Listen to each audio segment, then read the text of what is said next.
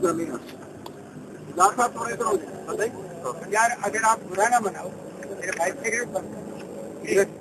है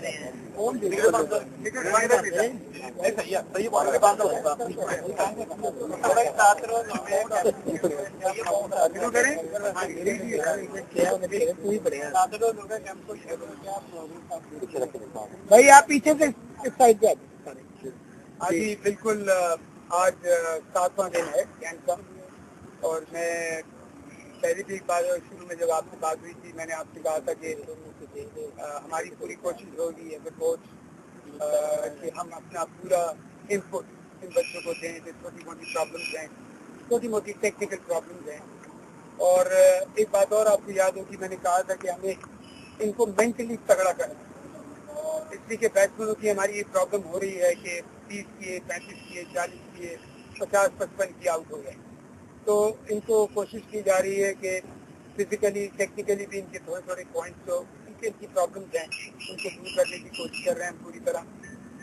मैं अपनी जितनी मेरी जो मेरी बेहतरी थी अपनी लाइफ में अपनी क्रिकेट की ज़िंदगी में मैं वो कोशिश कर रहा हूँ इनमें ट्रांसफ़र और दूसरा ये है कि साथ मेरे एजाज कर रहे हैं और दूसरे लड़के हैं अभी जो अपना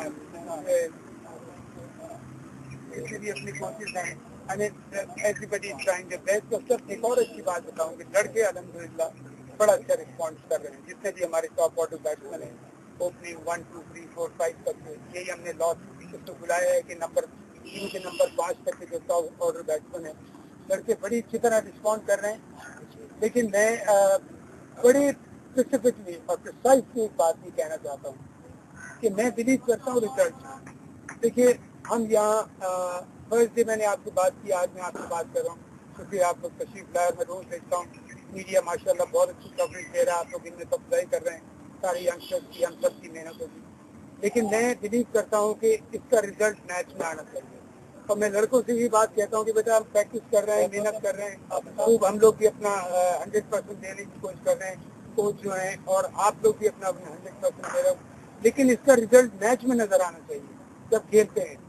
इसलिए कि हमारी आवाम जब हमारी कौम की जो टीम है पाकिस्तान की उनको जब सेटिस्फैक्शन मिलेगा जब हम इसमें गलतियों से दूर रहेंगे तो इन ताला हमारी पूरी कोशिश है अभी अभी कैंप में इस, बैच में कम से कम पाँच छः दिन और बाकी हैं। उसमें भी हम पूरी तरह अपनी कोशिश करेंगे। मैं अपनी कोशिश जैसे मैंने कहा मेरे साथ दूसरे कोचिज हैं सब बड़ी मेहनत कर रहे हैं, लड़कों का रिस्पांस बहुत अच्छा है। और हम पूरी उम्मीद कर रहे हैं कि इन ताला कि इस कैंप का जो पीसीबी ने आई थिंक बड़े अच्छे वक्त में जब देखा कि दूसरी कोई इंटरनेशनल कमिटमेंट नहीं है तो इसका फ़ायदा उठाते हुए ये कैंप दिया। मुझे भी एक रिस्पॉन्सिबिलिटी और दी सिलेक्शन के साथ साथ मैं अपनी खिदमत मेरी हाजिर है लिए। हर वक्त तो मैं अब तक ही कहूँगा कि जी, अल्लाह का शुक्र है हम कोचेज जो हैं काफ़ी हद तक सेटिस्फाइड हैं। लड़के बड़े सेटिस्फाइड हैं, खुश हैं छोटी छोटी बातें हो रही हैं, लेकिन फिर वही बात मैं कहूँगा कि इसका हमें रिज़ल्ट अच्छा देना और रिज़ल्ट मैचेस बताएँगे।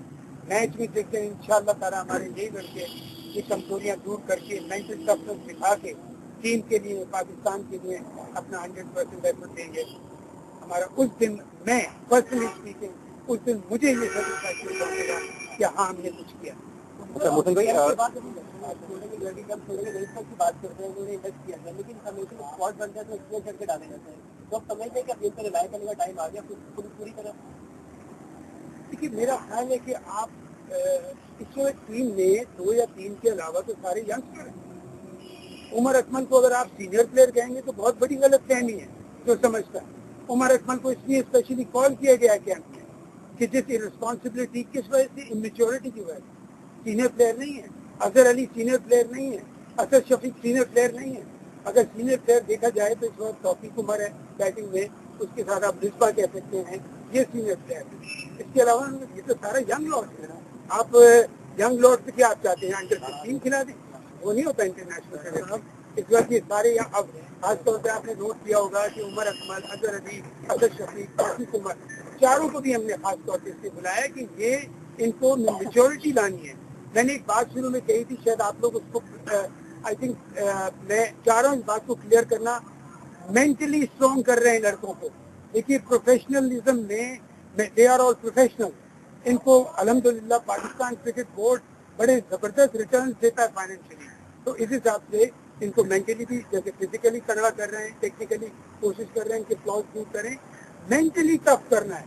मैं फील करता हूँ कि एक ऑर्डिनरी प्लेयर में और एक वर्ल्ड क्लास प्लेयर में दोनों अच्छे होते हैं, लेकिन फ़र्क ये होता है कि वर्ल्ड क्लास प्लेयर मेंटली बहुत टफ हो जाता है जिसकी वजह से वो टॉप क्लास प्लेयर बन जाता है। बेसिक टेक्निक की बात की है तो वो उमर अकमल को एज एक्सपेरिमेंट यूज़ किया गया था विकेट कीपर तो क्या आप उसमें इम्प्रूवमेंट ला रहे हैं पूरे आइडिया को स्क्रैप कर रहे हैं? और तो दूसरा ये कि फ्यूचर कैप्टन आपका ख्याल है, जो बकार ने भी बात की है, कोई यंग कैप्टन होना चाहिए। आप लोग देख रहे हैं गौर कर। रहे हैं देखिए, पहले आपके सवाल का जवाब देता हूँ कैप्टनसी का। कैप्टनसी डोमेन है चेयरमैन क्रिकेट बोर्ड का। उससे मेरा कोई ताल्लुक है, मैं चाहे मैं चेयरमैन सिलेक्शन कमेटी हूँ, मेरा कोई ताल्लुक नहीं है। चाहे मैं कोचिंग डिपार्टमेंट में हूँ, मेरा कोई ताल्लुक नहीं है। ये अथॉरिटी है पीसीबी की टॉप अथॉरिटी की जो जो हमारा है, पाकिस्तान का। तो उसके कैप्टनसी के बारे में मैं कुछ नहीं कहना चाहूँगा। मेरा फ़र्ज़ बनता है मैं अच्छी टीम सिलेक्ट करूँ। आज मुझे क्रिकेट बोर्ड में ज़िम्मेदारी दी है कि थोड़ा सा बैटिंग की तरफ़ भी तवज्जो दूँ। वो भी मैं कर रहा हूँ। जहाँ तक मेरा है। मौसम आपने बाकी राय क्या इस बारे पहला सवाल आपने क्या था? कि उमर अकमल का हाँ, जो उमर अजमल का देखिए उमर अजमल का एक हमने पार्ट टाइम उसको यूज़ किया था। इस तरह आपने फॉर एग्जांपल देखा होगा कि साउथ अफ्रीका में डिविलियर्स को उसको एक तरह से सेकंड विकेट कीपर इस्तेमाल कर दिया था। तो हमने सोचा था कि वर्ल्ड कप के स्क्वाड में हमारा क्या फ़ायदा होगा कि बजाय हम एक सेकंड विकेट कीपर भेजें उमर अकमल को हम टू इन वन करके कि हमारे साथ उसकी जगह एक एक्स्ट्रा बॉलर या एक्स्ट्रा बैट्समैन हो जाए लेकिन उमर अकमल को मैं, अगर आप मुझसे पूछेंगे, जब तक मैं कर रहा हूँ, मैं चाहूँगा कि उमर अकमल अपनी बैटिंग के ऊपर और अपनी फील्डिंग के ऊपर हंड्रेड परसेंट तवज्जो। गौतम भाई खबरें आ रही हैं अखबार में मुसलसल सात दिन से जिस दिन से कैंप लगा है कि बहुत सारे यंगस्टर ऐसे हैं जिनमें टैलेंट है उनको नजरअंदाज किया गया है इस कैंप में। आप समझते हैं कि ये बेस्ट जूनियर लॉट है जिसको आपने यहाँ पर बुलाया या कुछ प्लेयर हैं जिनको नेक्स्ट फ़ेज़ में बुलाया जाएगा? कुछ नाम बताएँगे आप? अखबार में खबरें छप रही हैं यकीन आपको पता होगा। नहीं मैं अखबार नहीं पढ़ता मैं काम करता हूँ।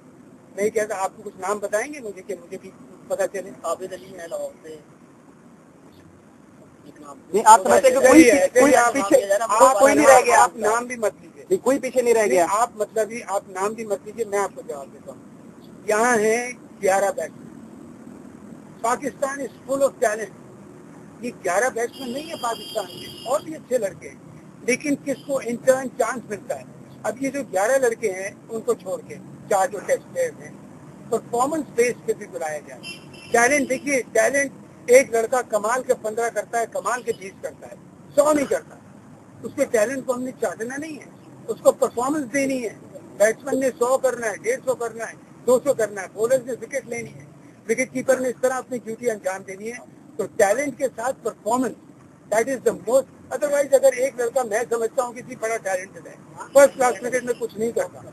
एक लड़का हज़ारों रन किया जा रहा है। मेरा कोई हक नहीं पहुँचता कि मैं उस लड़के की परफॉर्मेंस को नहीं चलेगा तो परफॉर्मेंस के साथ साथ हुए हम टैलेंटेड लड़के सर, आप काम करते हैं अखबार भी पढ़ते हैं। टीवी देखते हैं टीवी पे खबर दिलवा देंगे ताकि आपको अंदाज़ा हो सके कि कुछ है। ऐसे लोग।